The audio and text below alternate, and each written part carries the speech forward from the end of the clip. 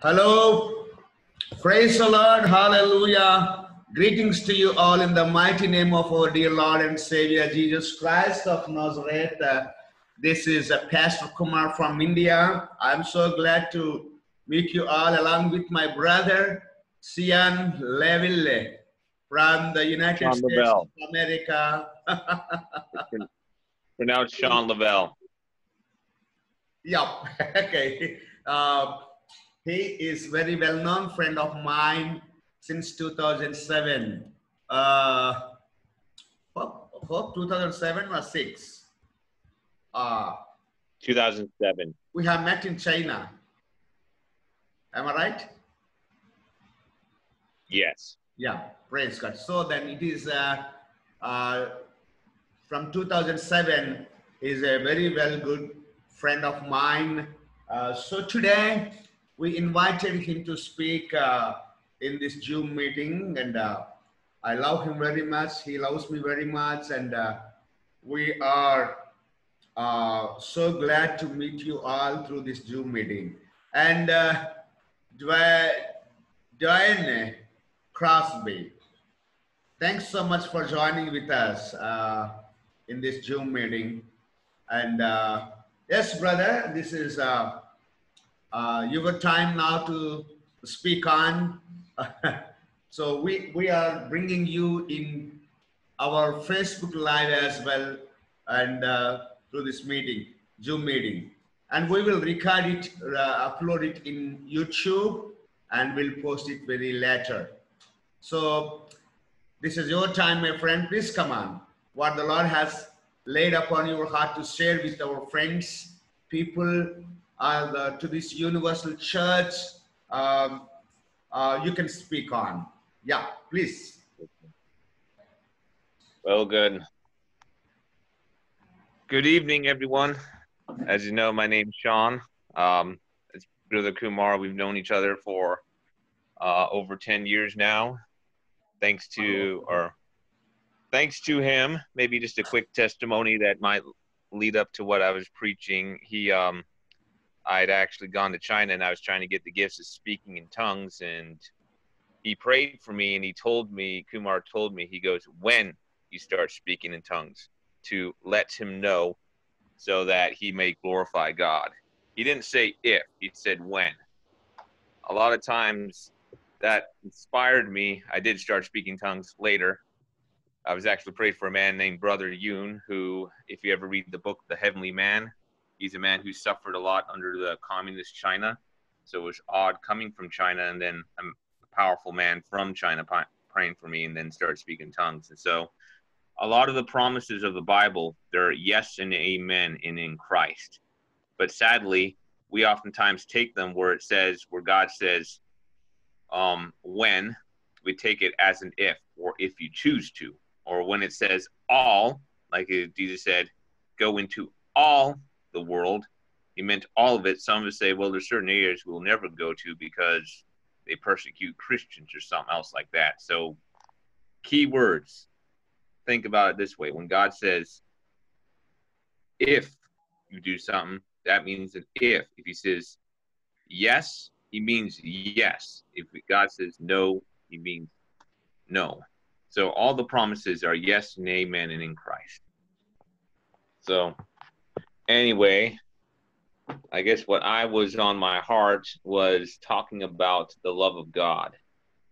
Now, there's a big shift we have, like people talk about love of God and we love you, I love you, and oftentimes just this word that has become, sadly, in, in the English language, it's me. People mean it so many things, yet who really demonstrates it? How do we know what God, what love really looks like? It's like the Greek, the Hebrew, they have several forms of it, while we have only one word. Like you got in Hebrew, you got agape, it's this phileo, and eros. Agape, that's the love Jesus talked about. He says that's a selfless, benevolent love. There's no greater love than this, than he who would lay down his life for his friends. Where's that? No. Greater. love. That is John 15, 13. So if you guys want to jump over to your Bible, what does it say? There is no greater love than to lay down one's life for his friends. Greater love has no one than this, than someone to lay down his life for his friends. Several different translations. It's actually one of the themes I think of the um, um, oftentimes quoted in the U.S. military because when people are willing to put their life on the line to serve in a very tough situation where it's not comfortable, they'll go very far to protect. They'll serve for a cause bigger than themselves.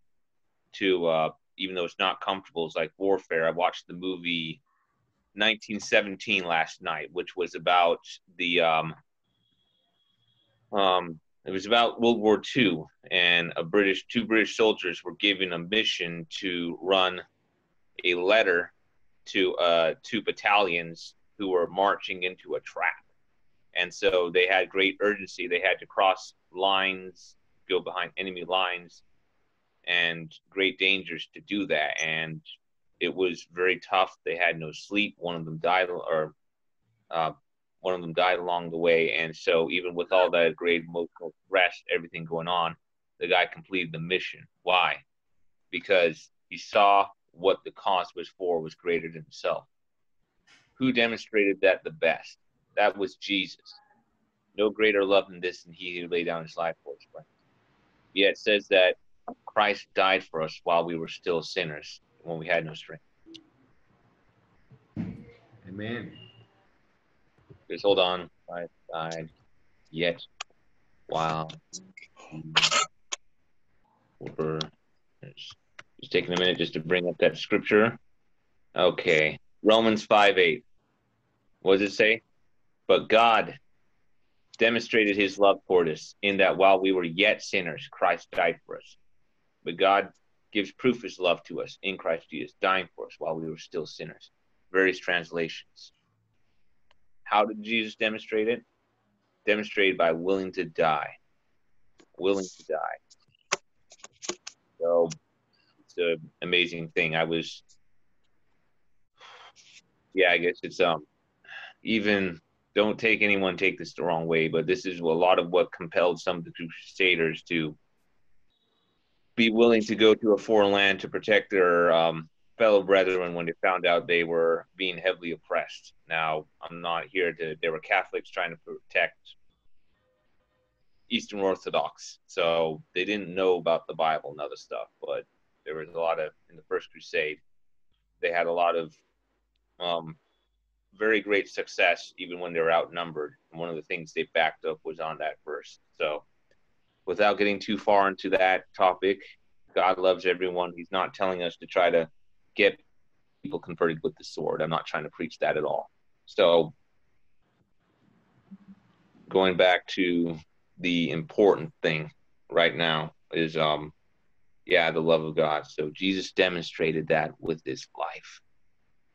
So, what I want to talk about on that love aspect is that how do we love? What's the secret to that? What's that ability that it says that how do we love like that? Because we hear it all the time love your neighbor as yourself. That's written Matthew 22 38. That's powerful. Let's go there. It's very good. What does it say? Love your neighbor as you love yourself. Wow.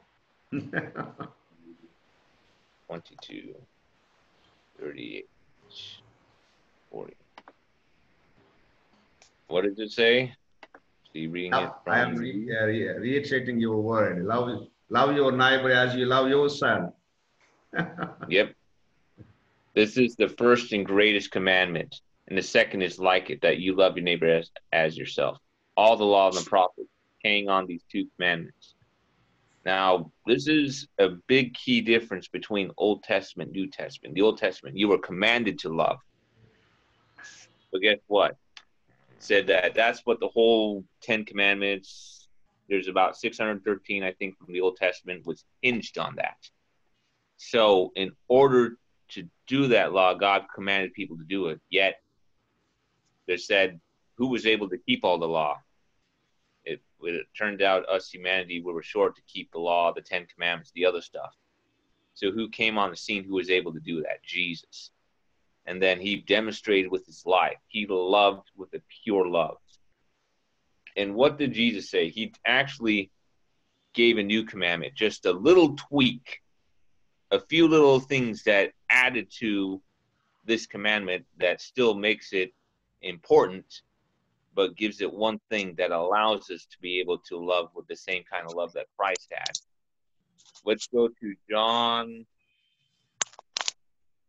13, verse 34 through 35.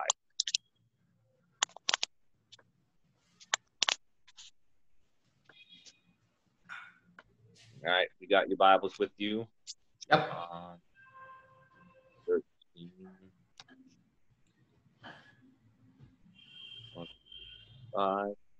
Using a computer, so.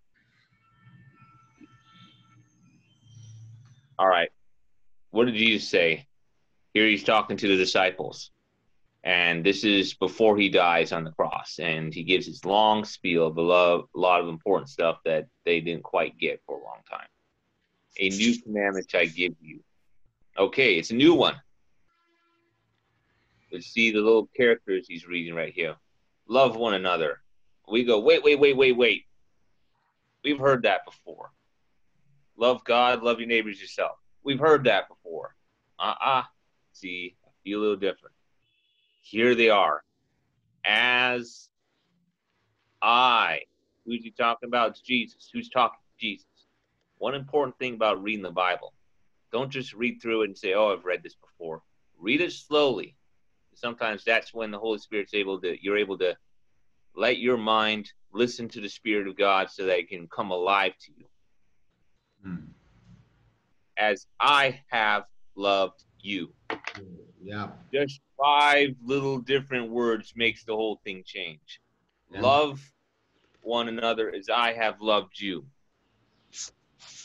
That means he was telling disciples to know what love was, to be able to do it, is to know his love. Mm-hmm. See? So you must love one another. By this, everyone will know that you are my disciples. If you love one another. Man, there's a lot to unpack even in those words. So this is where the change is. Now, instead of you trying to love people out this way, oh, I gotta give everything towards God with everything and send it out wow. this way. You can't do that. That's what you ran into in Romans 7. Paul, where Paul talks about the things I want to do, I can't do. The things I don't want to do, I end up doing because we don't have in ourselves to go send that absolute pure love of selfless to God and then be able to send out to our neighbors caring for ourselves. Because you know why? What happened when we when man fell in the garden? We took on the nature of the devil. And what was the devil about? Serving himself. Okay, Somebody's got their microphone or something. Yeah, somebody is. Uh, Brother Mac, uh, yeah, please welcome. We welcome you into our Zoom meeting. And uh, yeah, thanks for unmute your microphone. Yeah, okay. Please yeah, carry on. Thank you for muting the microphones. It's causing a lot of feedback. Anyway, um, so saying that we, when we took, when Adam took ate the tree, we died spiritually. We've heard most of we've heard this before we took on the nature of the devil, which is self-serving. What does it say in Corinthians? Love seeks not its own, is not self-centered. That's what we were born into Adam. We were born with that fallen nature. We were born with the incapability to love. Tying to Romans 7 about things I want to do, I can't do, things I don't want to do, end up doing. Because that's what we had. So what we got to do we're going to love with that pure kind of love is guess what? We're invited by Jesus to get to know his love. And from that, we're able to love. Remember that parable? Let's see right now. is actually go to it. Um,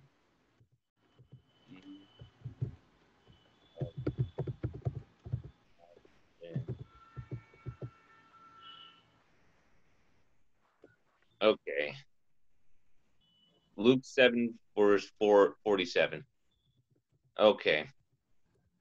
So you got the story right here. I'm just going to go through it kind of quick where okay. You go through the story and you got this you got this woman who comes, you got Jesus if you read through the scriptures. Um woman comes into Jesus gets invited to a Pharisee's house. That's a pretty nice thing to do. Someone invites you over to the house. So anyway, he's over there and then he's sitting down and then this woman shows up out of nowhere and does some stuff that think about it just put yourself in the situation. Just imagine someone comes up you invite someone to the house some other person comes into the house and this person comes behind jesus starts crying uh, pours out anointing oil on their feet and starts wiping their feet with their hair. Can you imagine that happening to you? We oftentimes we read some of these Bible stories and we're just like, yeah, yeah, it's the story of Jesus we've heard a hundred times.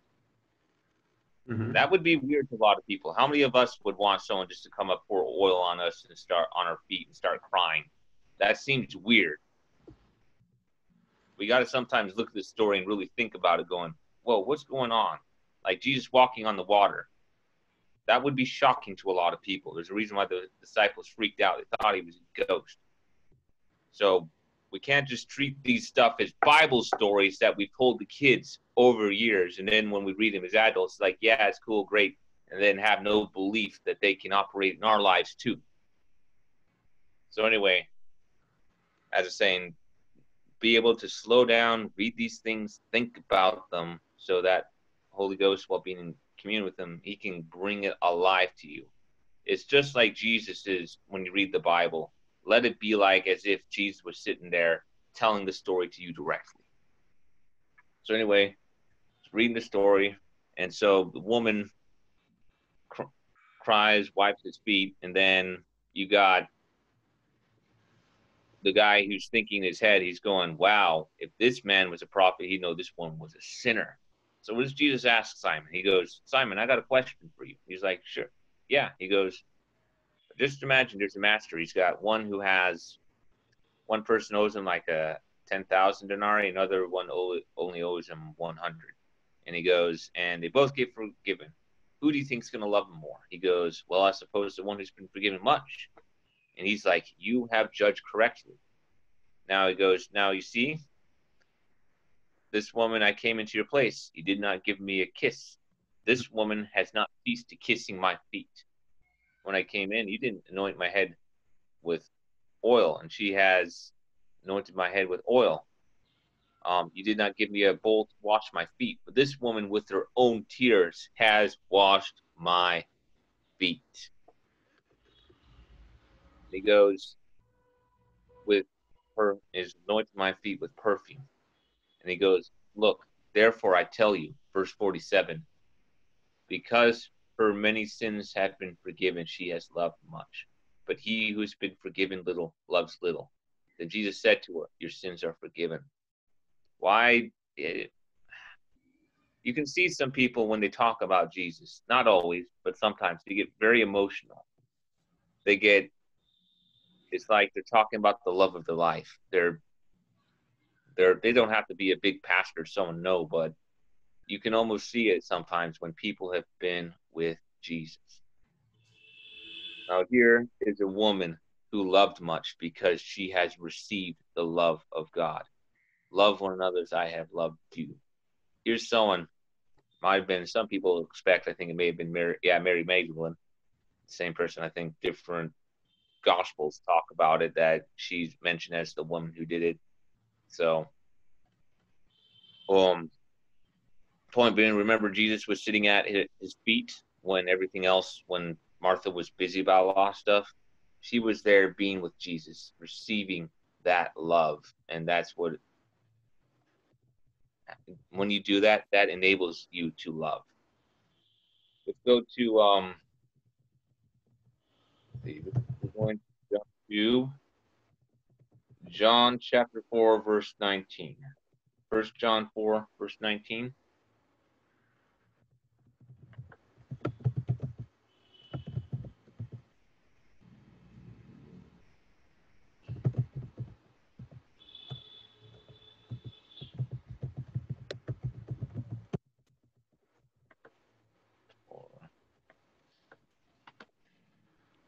Okay. Let's see.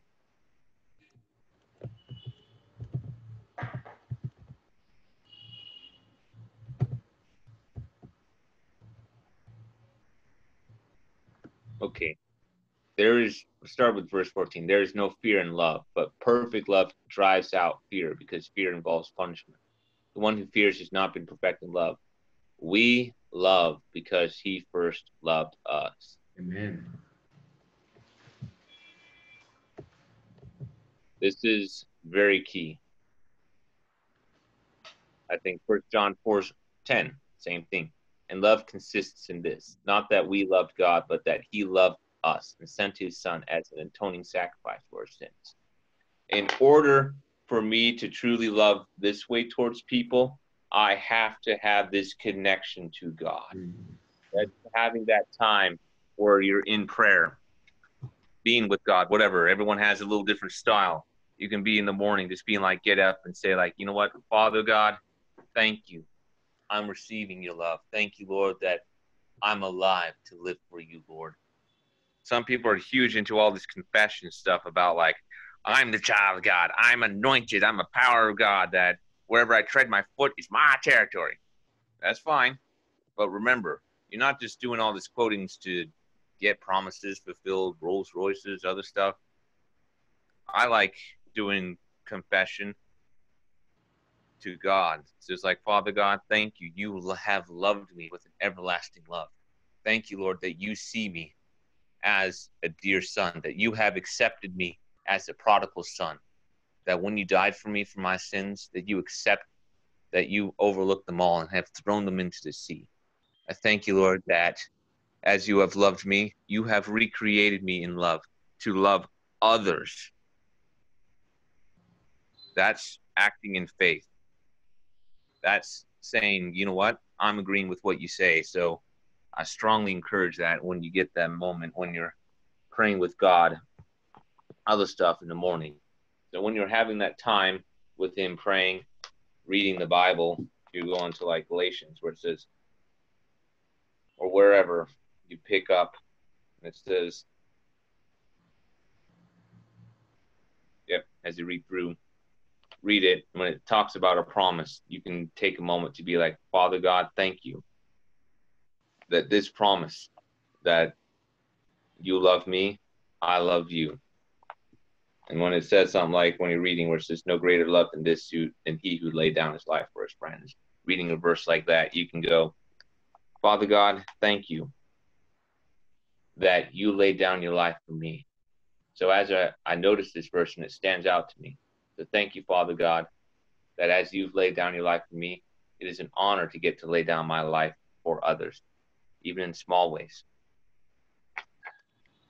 So you can read and talk to God while reading the Bible and have interactions with Him so that it's becoming alive, becoming a joy, becoming just uh, an excitement.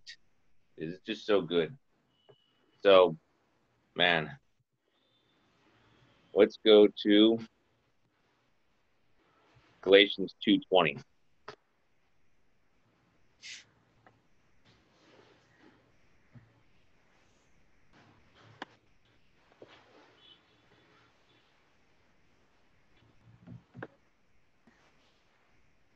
Okay. Two.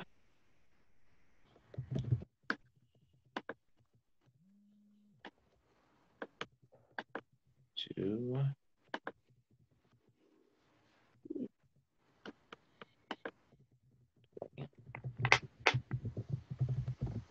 What does it say right here? Yep. I have been crucified with Christ, and no longer I live, but Christ lives in me. The life I now live, I live in the body. I live by faith in the Son of God who loved me and gave himself for me. In order to love, what did Jesus say? If anyone wants to deny, follow me, he must deny himself, take up his cross, and come after me. He who tries to hold on to his life shall lose it, but he who loses his life for my sake shall find it. That's what you get baptized for.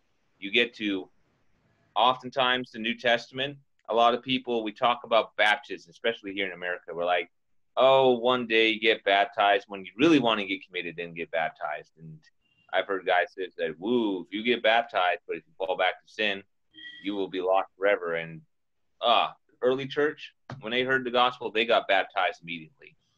Read it through the book of Acts constantly. Peter preaches to all the people on the day of Pentecost. What did they do? 5,000 get baptized the same day. Peter, I mean, Philip preaches to the eunuch.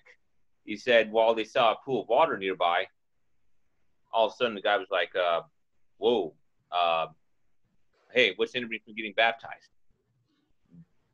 Peter preaches to um, Cornelius at, in Acts 10. What they do?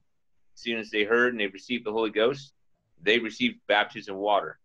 So when I guess going to rabbit is that part of following Christ is denying yourself. That's why you get to be baptized. You get to die to the old man, let him drown, then you get to be resurrected, a new man in Christ Jesus. So believing the gospel. So any of you guys who haven't been baptized, don't sit on the fence. Get baptized as soon as possible. A lot of the gospel is like Romans chapter six. Don't you know that when you were baptized, you're to baptize Jesus' death? What is that saying? That's assuming you've already been baptized. So you're not baptized. That scripture ain't written to you yet. It's meant to be written for those who are baptized. So get it. Um, so Galatians 2:20. What's he saying right here? It is no longer I who live, but Christ who lives me. The life I live, I live in the body. I live by faith in the Son of God. Who? How does he does that? Paul says, I get a love, get to love by the love of God. How? I live by faith in the Son of God, who loved me and gave himself for me. Paul lived a life where he got beaten. He was in jail. He was thrown shipwrecked. He had a lot of stuff. He had to face problems, people's issues, other stuff. How did he do it? He did that because he believed, not just faith. I mean, faith is important. What are the greatest things in the end of First Corinthians chapter 13, where it talks about love? Now abide these faith, hope, and love. What's the greatest? Love. Faith is very important, but what is it? Faith. Yep. the Son of God who loved me and gave himself for me. So, how does that happen? Galatians 5 6. Mm-hmm. Okay. How much more time we got, Kumar? As I've been going for about maybe 35 minutes, 30, 25, 30 minutes. I don't want to take too long if you said 40 minutes was the max. Go on. This is limited for 45 minutes. oh, okay. We have completed 30 minutes now. Okay. 31 minutes over. 31 minutes? Yep. Just okay. for, uh, for five minutes more. five minutes more? Yep. Yes, sir. Yeah. right. We're going to Galatians 5,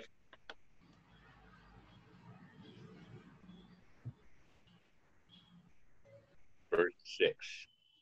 All right. 5. Okay.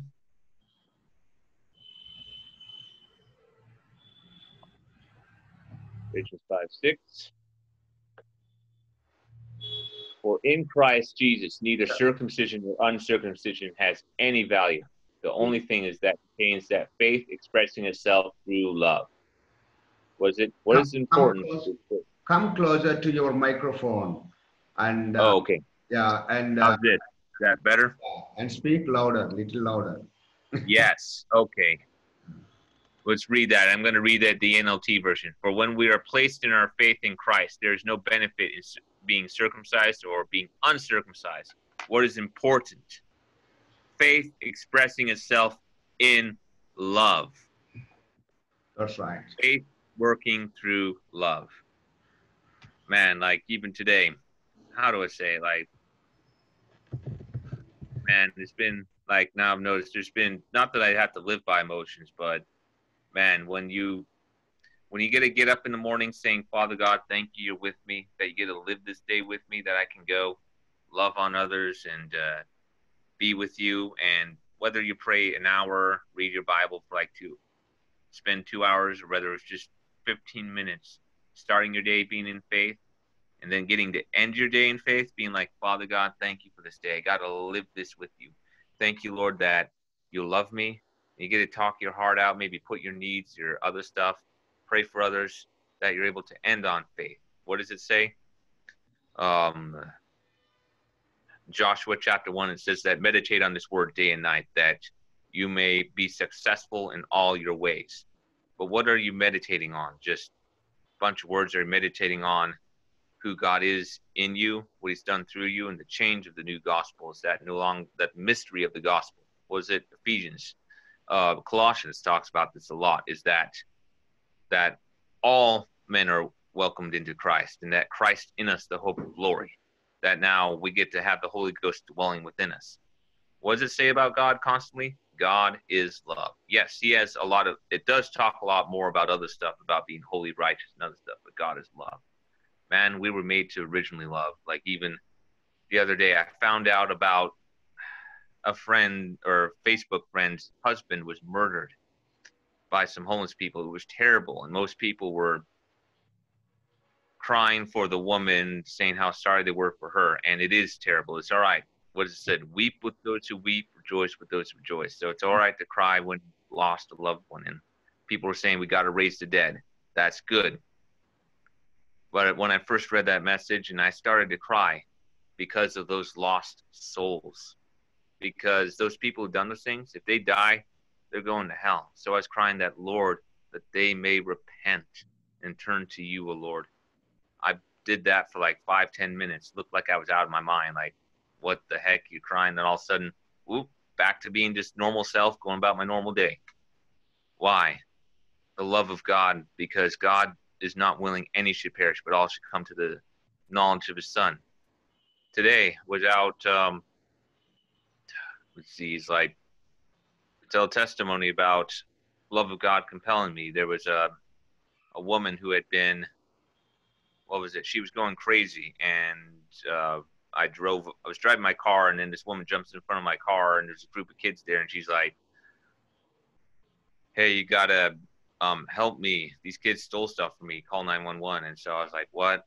I was a little confused about to pulling up my phone. All of a sudden she starts banging on my window. Get out of the car. Um, you stole that from my niece. And I was like, whoa. So I sped off. And then I saw some of those group of kids who were like, had been filming her and mocking her, I think. And they're like, what's going on? She's like, oh, she's high on crystal meth. I parked my car and went back to that woman. She was being disorderly, walking through people's yards. Like some people say, get out of our yard. So I come up to her and I go, honey, you're lost. You don't know that Jesus loves you and that you have a created value to follow him. She's like, don't talk to me about Jesus. I'm like, hold on. Listen, you don't know that he died for you to give you eternal life and that you create for so much more than this brokenness of what you're doing. I don't want to hear it. He turns around starts walking away. She's like 20 feet away from me. I reach out my hand and I say, In Jesus' name, I speak life, Holy Ghost, touch her. And all of a sudden she turns around angry, probably the devil's manifesting, going, Don't touch me. I'm like, dude, 20 feet away from you. Don't touch me. Keep praying. So she threw her pipe at me and then she took her, one point, she took her um, sweater and whipped me, and it actually bruised me like she was cracked it on me like a like a whip. I looked at her and goes, "Hey, I'm not here to hurt you, touch you. I just want you to know God really loves you. He cares for you. That's what He died for, to restore you to back to know the love of God, to be a normal person." And she kind of ran, ran, ran, chided, and then she stopped being a public menace and went back into her into her apartment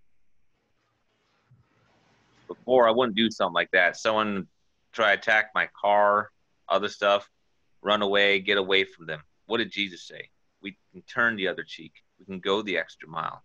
Those are his teachings. But how do we do that? How do we do that stuff? Because one of the biggest things is getting over fear of uh, what is it? Um, perfect love casts out fear because fear involves torment. We were reading that, I think, uh, First John verse 18 that mm-hmm. perfect love is getting to spend that with Jesus. It's when we know that love, just like that woman. If we've been, if we only know, like, oh, I'm not a bad person. I've only been forgiven not too much. We can only love a little bit. But the more we can grow in that love, the more that we can connect with Him on a deep level, the more it can naturally flow from us. Because oftentimes we're trying to do the Old Testament law, trying to love God and love our neighbor self, and we're getting burned out. But when we get to not do it from just our own strength, but from just being in that communion, that relationship with Him, what did you say? If you abide in me, I will abide in you. From apart from me, you can do nothing. He who remains in me bears much fruit. That's like um, I think John 15. Forget where exactly. Anyone can post it on the on the things. So anyway, I'm just telling you guys, remain in the love of God, know His love, and that love, let that love flow from you as you have that time, that communion with Him and His Word. That's what I had to share, Brother Kumar. Amen. Praise God. Hallelujah. Thanks for sharing the love of God uh, with all our people uh, through my uh, Facebook Live and uh, Zoom meeting, my friend Sean. Uh, thanks for bringing the beautiful word.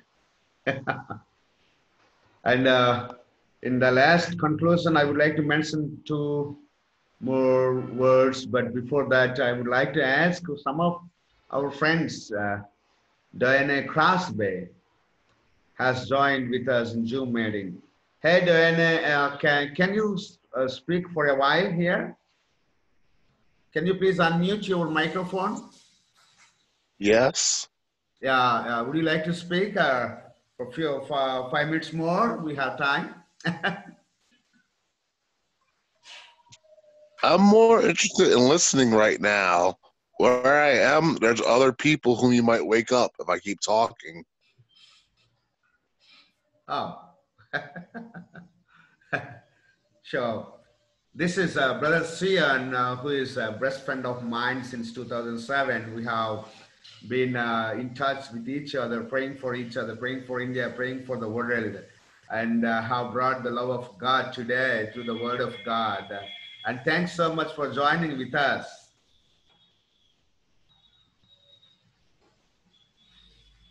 You're welcome.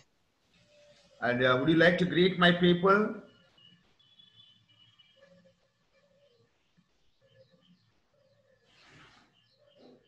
Okay. Hello, all. Do you like to greet my people here through this Zoom meeting?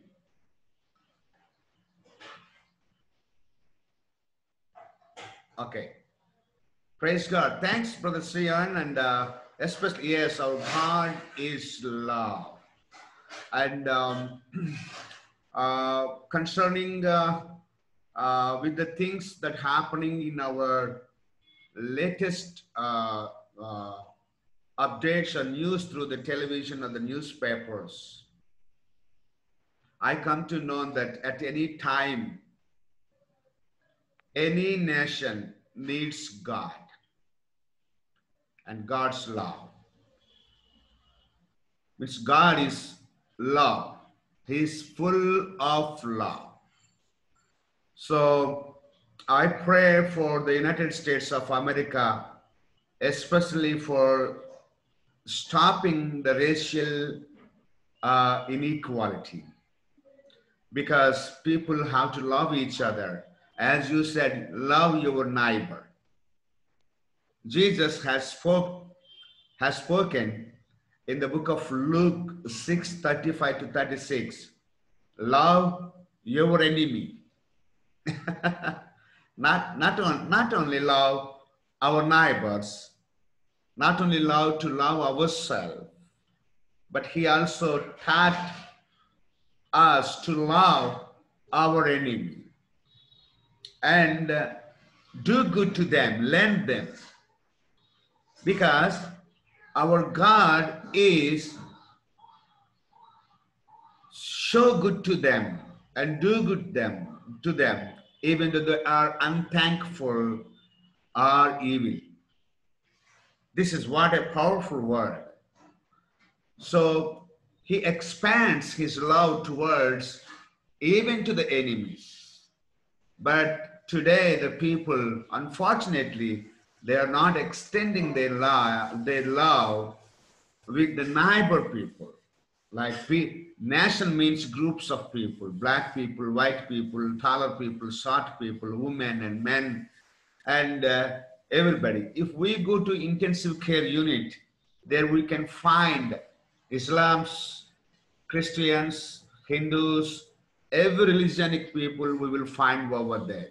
But they don't fight for the rights there. They only fight for the life. But Jesus has given his life. He died for us on the cross so that we can live in him. The crucifixion of Jesus is by the love of God. God gave his begotten Son to this entire world because God so loved the world. So we urge all the people to love each one, to spread the love of God, to share the love of God, to share the love of Jesus with all the people and come in unity and come in the love of God as a fellowship, as a congregation, as a group, as a one body members in the body of Jesus Christ. So we have to spread the gospel to each and every nation because the gospel is the power of God. The word of God is the love of God.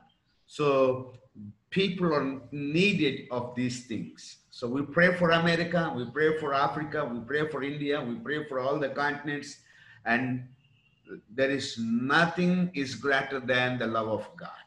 Hallelujah. Hallelujah. Praise Jesus. Would you like to pray and conclude this session, my friend? I give the benediction. Yeah. Yeah, I can pray, brother. Yeah, anyway, as I said, forgot to mention that Kumar is doing a lot of good mission work. Yep. So have supported some of his uh, stuff before, and uh, if you want to help support the work, since he's got a lot of trying to get an office taken care of and feed orphans and other things that help take care of that. So as I say, it's not begrudgingly, but if it's on, if you want to contribute or what you have, not feeling compulsion to, but um, as I say, God loves a cheerful giver. So if you want to help contribute to his mission, you can. Um, I think it, you got more information on your Facebook page that shows how you can contribute to Kumar with that. So whether little or a lot, or or even just in prayer. So you'd appreciate that. So anyway, yeah, I'll contribute with or finish this out with a prayer. Father God, thank you that Lord, you are a righteous and holy God, and said that we are to behold both your severity and the goodness of God. Lord, and those who believe goodness, but those who do not believe severity. So, Lord, but Lord, as I say, as we come to get to know you more, we realize that it's your love. Cast out all fear, because fear involves torment. Lord, may we be perfected in love. That, Lord, may we not just realize that maybe not just realize that we're meant to be saved, we're meant to be baptized, we're meant to be doing good things, but rather that we get to know you. Because when we get to know you, we get to have this, Lord. And because in the proof of having this connection with you, forward flowing down, is by how we love. This is how people will really know that we are your disciples if we love one another. But to truly love, we got to know how you love, how you love this, Lord how you lived, how you died, your love and sacrifice. Let our lives be proof of your love. Just as in the words of the songs by uh, For King and Country, let our lives be the proof of your love. Thank you, Father God. In your name we pray. Amen. Amen. May the love of God our Father and the grace of our dear Lord, Savior Jesus Christ, and the sweet fellowship of the Holy Spirit shall be abiding with us now and forever. Amen. Amen. Loving friend, uh, thanks for sharing the love of God. Well, thank you for the invitation and for anyone who heard, whether it be two, say two or three are gathered or more, he's in the midst of it. So thank you, Father God. Amen. Yes, please keep continue to pray for us while we are um, looking unto God's will for having the land property and for constructing a house building and a church building, uh, as well as an office room. So we are we have been in the ministry for full time since 18 years, uh, since the year of 2002, and have been uh, ministering in the rented houses in India because in India it is uh, the biggest uh, Hindu populated nation. So Hindu people are not allowing us to run the worship services in their houses. Uh, right now we are in need, emergency need of a house uh, building for living and uh, a house for running the worship services like Sunday church services, something like that. So this is our emergency need. Please keep on praying for us on that. Love you. Thanks for joining with us, and we hope to join often in the future. bye bye. Take care. Love you. Jesus. Uh,